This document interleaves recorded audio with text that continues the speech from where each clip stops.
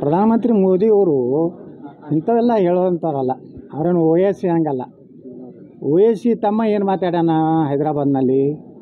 ಹದಿನೈದು ನಿಮಿಷ ಪೊಲೀಸರು ಮತ್ತು ಮಿಲ್ಟ್ರಿಯನ್ನು ದೂರಿಟ್ರೆ ಇಡೀ ಹಿಂದೂಗಳ ಕಗ್ಗೊಲೆ ಮಾಡ್ತೀವಿ, ಕತ್ಲೆ ಆಮ್ ಕರ್ತೆ ಅಂತ ಹೇಳ ಅಂಥ ಒಬ್ಬ ದುಷ್ಟ ವ್ಯಕ್ತಿಗೆ ನಾವು ಇವತ್ತು ಉತ್ತರ ಕೊಡ್ತಾ ಇದ್ದೀವಿ.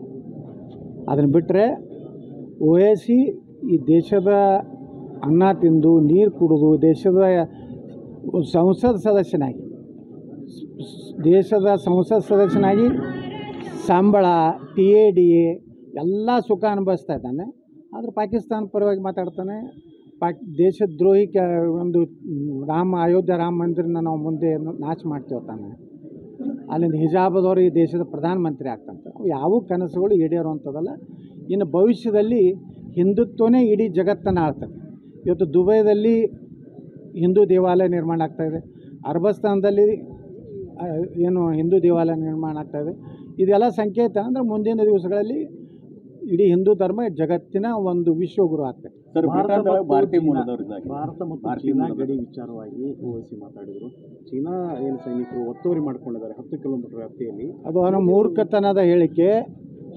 ಪ್ರಧಾನಮಂತ್ರಿ ಮೋದಿಯವರಾದಮೇಲೆ ಒಂದು ಇಂಚು ಜಾಗನೂ ಸಹ ಭಾರತದ್ದು ಇದಾಗಿಲ್ಲ. ಇದೆಲ್ಲ ಏನು ಹಿಂದೆ ಅತಿಕ್ರಮಣ ಆಗಿದ್ದು, ಪ್ರಧಾನಮಂತ್ರಿ ನೆಹರು ಇದ್ದಾಗ. ನೆಹರು ಅವರ ಕಾಲದಲ್ಲಿ ನಮ್ಮ ಭಾರತೀಯ ಸೈನ್ಯಕ್ಕೆ ಸರಿಯಾದಂತಹ ಶಸ್ತ್ರಾಸ್ತ್ರಗಳನ್ನು, ಅಲ್ಲೇನು ಹಿಮದಲ್ಲಿ ಹಾಕುವಂಥ ಬೂಟ್ ಇರ್ಬೋದು, ಯಾವುದೇ ರೀತಿಯ ಕಣ್ಣುಗಳು, ಕಣ್ಣಿಗೆ ಬೇಕಾದಂತಹ ಕನ್ನಡಕಗಳನ್ನು ಸರಿಯಾಗಿ ಕೊಡದೆ ಒಬ್ಬ ಮಿಲಿಟ್ರಿ ಅಧಿಕಾರಿನೇ ಒಂದು ಪುಸ್ತಕ ಬರ್ದಾರೆ. ಹೆಂಗೆ ಸೋತೀವಿ ಅನ್ನೋದಕ್ಕೆ ಯಾವ ರೀತಿ ನೆಹರುನ ತಪ್ಪು ನೀತಿಗಳಿಂದ ಹಿಂದಿ ಚೀನಿ ಬಾಯಿ ಬಾಯಿ ಅಂತ ಹೇಳಿದ್ರು.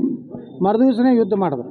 ಈ ಎಲ್ಲ ತಪ್ಪು ನೀತಿಗಳಿಂದ ಭಾರತದಲ್ಲಿ ಭಾಳಷ್ಟು ತೊಂದರೆ ಆಗಿದ್ದು ಚೀನಾದಿಂದ ಪಾಕಿಸ್ತಾನದಿಂದ ನೆರು ಕಾಲದಲ್ಲಿ. ಸರ್ ಬ್ರಿಟನ್ ಮೂಲ ಬ್ರಿಟನ್ ಅಲ್ಲಿ ಪ್ರಧಾನಮಂತ್ರಿ ಆಗಿದ್ದಾರೆ ಭಾರತೀಯ ಮೂಲದವರು ಸರ್ ಅದ್ರ ಭಾಳ ಸಂತೋಷ. ಅದೇನ ಹೇಳ್ತಾ ಇದ್ದೇನಲ್ರಿ ಇನ್ನು ವಿಶ್ವ ಗುರು ಭಾರತ ಆಗುವಂಥ ಸಂಕೇತಗಳಿವೆಲ್ಲ.